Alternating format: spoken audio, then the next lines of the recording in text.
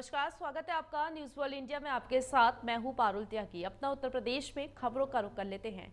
प्रधानमंत्री नरेंद्र मोदी 16 नवंबर को पूर्वांचल एक्सप्रेसवे का उद्घाटन करेंगे। आपको बता दें 340 किलोमीटर लंबा ये एक्सप्रेसवे पूर्वी और पश्चिमी यूपी को जोड़ेगा। एक्सप्रेसवे लखनऊ के चाँद सराय गाँव से शुरू होगा। मुख्यमंत्री योगी आदित्यनाथ ने यूपी में सत्ता संभालने के बाद पूर्वांचल में विकास को रफ्तार देने के लिए लखनऊ से आजमगढ़ होते हुए गाजीपुर तक सिक्स लेन के पूर्वांचल एक्सप्रेसवे का निर्माण शुरू करवाया था।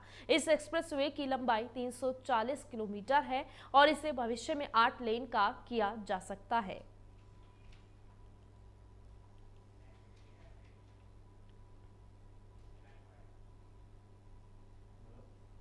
समाजवादी पार्टी के मुख्य और यूपी के पूर्व मुख्यमंत्री अखिलेश यादव ने पूर्वांचल एक्सप्रेसवे के उद्घाटन पर प्रधानमंत्री नरेंद्र मोदी और सीएम योगी आदित्यनाथ पर तंज कसा है। अखिलेश यादव ने कहा कि पूर्वांचल एक्सप्रेसवे आगरा लखनऊ एक्सप्रेसवे से अच्छा नहीं है।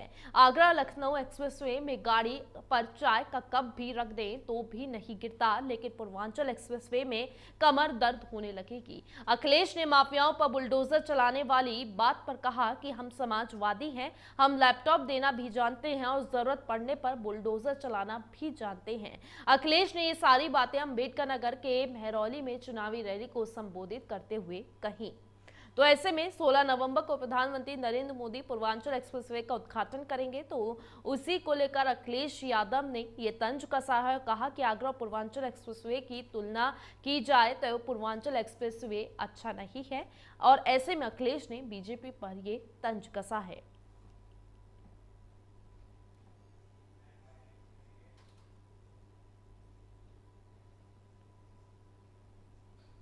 भारतीय जनता पार्टी की आज राष्ट्रीय कार्यकारिणी की बैठक हुई। इस बैठक में प्रधानमंत्री नरेंद्र मोदी गृह मंत्री अमित शाह, बीजेपी अध्यक्ष जेपी नड्डा, केंद्रीय मंत्री पीयूष गोयल, धर्मेंद्र प्रधान, निर्मला सीतारमण, एस जयशंकर, अनुराग ठाकुर, मुख्तार अब्बास नकवी, यूपी के मुख्यमंत्री योगी आदित्यनाथ समेत तमाम बड़े नेता इसमें शामिल हुए।